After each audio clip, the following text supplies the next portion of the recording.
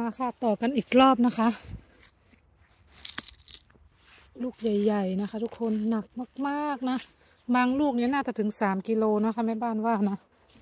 อันนี้รอบสองนะคะ ทุกคนเมื่อกี้รอบแรกเต็มกระบะไปแล้วนะคะ มีทั้งหัวจุกแล้วก็มีทั้งแป้นกลมนะคะ แล้วก็มีฟักสีขาวด้วยนะเปียกๆแบบนี้คงจะต้องเอาไปเช็ดก่อนนะคะ ถึงจะเก็บได้นานนะคะเพื่อนๆคะทำไมถึงจะต้องปลูกเยอะแยะขนาดนี้นะคะ เพราะว่า ที่นี่มันปลูกได้แค่ปีละครั้งนะคะ ตอนนี้ราคามันยังโอเคอยู่นะ เพราะเป็นฤดูของเขานะคะ แต่ประมาณเดือนหน้าไปถ้าหน้าหนาวเข้ามานะ ผักทุกอย่างก็จะขยับขึ้นนะคะ ราคาของที่นี่จะสูงมากๆนะคะ สูงกว่าบ้านเรามากๆเนาะ โดยเฉพาะผักที่เป็นออร์แกนิกนะคะ แพงมากๆค่ะทุกคนนั้นนะคะ ถ้ามีที่นะปลูกให้คุ้มไปเลยนะคะ ให้มันกินทั้งหน้าหนาวไปเลยนะคะ เดี๋ยวปลูกอีกทีก็ปีหน้านะคะ นี่ค่ะ ลูกเริ่มเทิมเลยดูนะคะ มอมแมมมากลูกนี้ มีแต่ลูกใหญ่ๆค่ะรถเนี้ย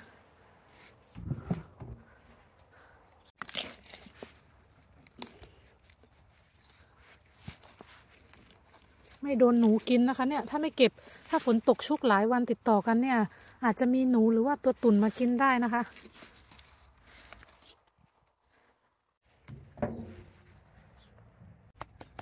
ดูตูดของนางลูกนี้นะคะ ตูดของนางช่างกลมเกลียวเหลือเกิน หักก็คงดังเปาะนะคะ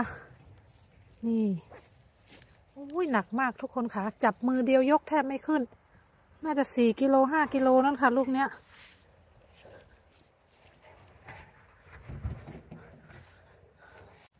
อันนี้ก็เหมือนกันนะคะ ดูนะคะหัวจุกนะคะ อันนี้หนักมากทุกคน หนักอีกแล้ว อุ้ย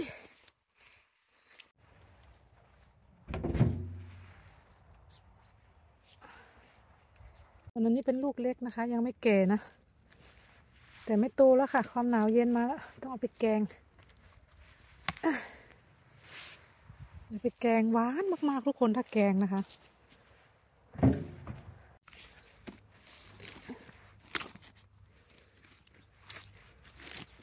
เก็บกันอย่างเมามันเลยทีเดียวนะคะ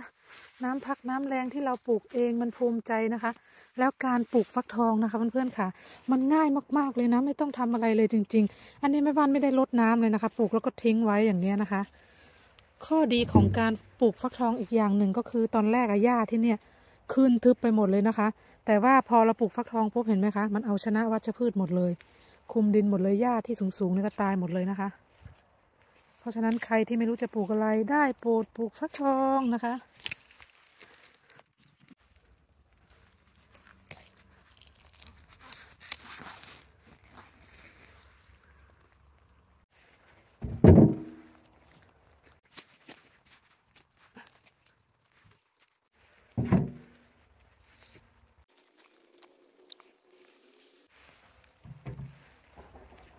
องนะคะเพื่อนๆค่ะไม่รู้จะยกไหวไหมนะรอบนี้มันหนักมากๆนะคะ เนี่ย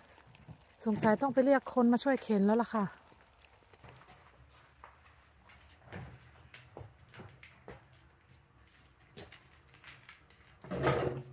เปียกปอนเหมือนเลยค่ะทุกคน